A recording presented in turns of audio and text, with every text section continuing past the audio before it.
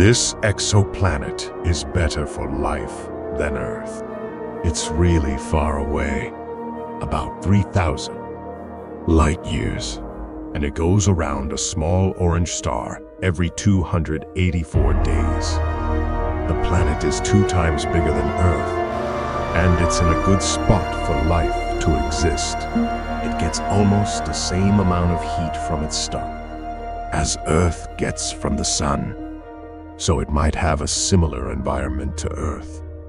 It's like a super good place for life, even better than Earth. Conditions there are really nice for life to happen. Finding super good places for life makes us think about all the cool things we can discover in the universe and the chance for life to exist somewhere other than our home planet.